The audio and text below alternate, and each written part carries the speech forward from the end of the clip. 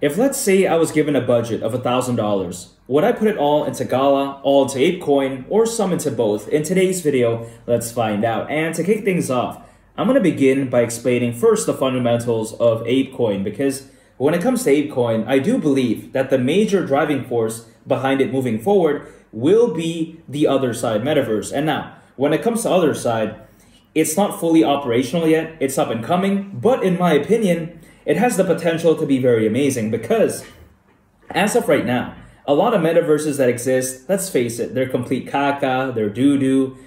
You know, it's just not all that great. However, when you take a look at the Otherside, it looks absolutely fantastic. It looks amazing and it looks very wonderful. It looks completely different from the majority of the competition. And of course, again, right, the Otherside, it still has a lot to prove you know, it still has to become fully up and running it before we can fully analyze it. But in my opinion, it has the potential to be absolutely fantastic. The graphics are A plus, and it looks very fun to play. And when it comes to the metaverse overall, I think it's no joke because according to McKinsey, the metaverse could reach $5 trillion in value by 2030. You know, that's bigger than a lot of countries' GDP, a very insane amount. So when it comes to the metaverse, again, right, it's no joke, has a lot of potential, and also on top of that, I think it's important to note how when it comes to ApeCoin, it has a very strong community.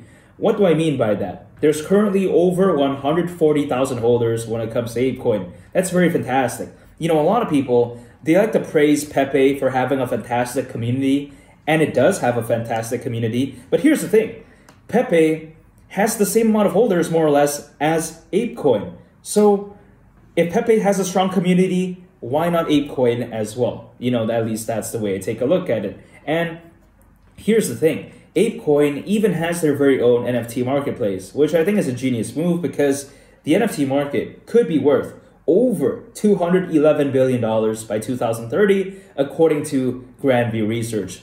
So when I see all of this about ApeCoin, I think it's clearly evident that it's very special. The Otherside has the potential to be amazing, and it even has its very own NFT marketplace. And also on top of that, community is fantastic.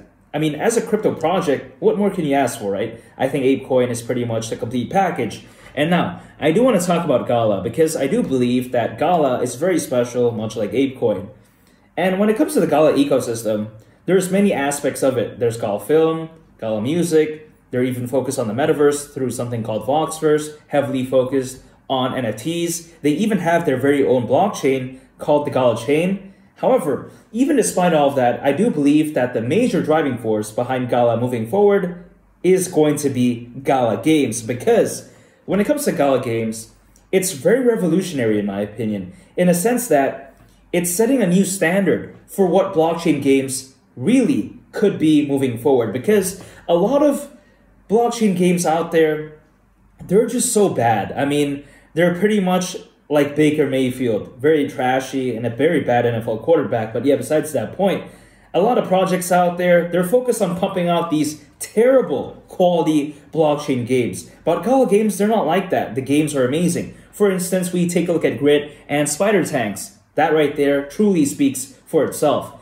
And unlike many projects out there that are limited in a sense that some are focused on quantity, but they don't have the quality. The others, they're focused on quality, but they don't have the quantity. But when it comes to Gala games, they're quite essentially a perfect balance of the two. They have a lot of quantity of games, and also on top of that, the quality is top notch. So when it comes to Gala games, man, it's very special in my opinion. And the blockchain gaming market, by the way, is no joke. It's expected to be worth over $300 billion. Yet again, I'm going to have to quote Grandview Research because they do predict that could very well happen by 2030. When it comes to Gala games, games are fantastic and it's focused on the right market. I mean, that's crazy in my opinion. And now I do want to take a look at the market cap of both ApeCoin and Gala because ApeCoin it currently has a market cap of around 1.2 billion dollars, while on the other hand Gala has a current market cap of around 1.1 billion dollars.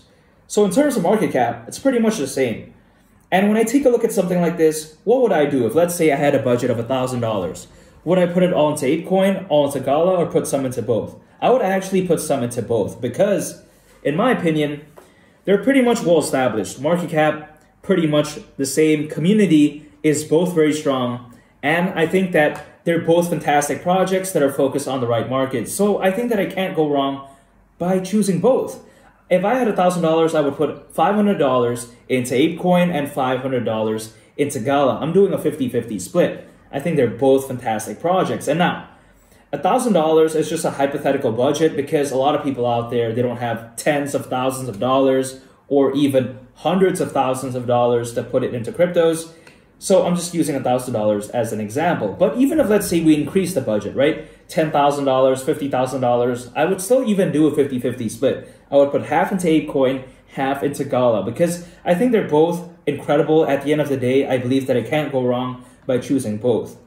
And I think they're both the winners here for me. I think they're both incroyable, as they say in France aka incredible. And if you want to check out a very interesting video, make sure to go ahead and click on this thumbnail right here. It's a very fantastic video and I think you all would really love it. It's been Lee the Captain. I'll catch y'all on the next one. I'm out. Peace.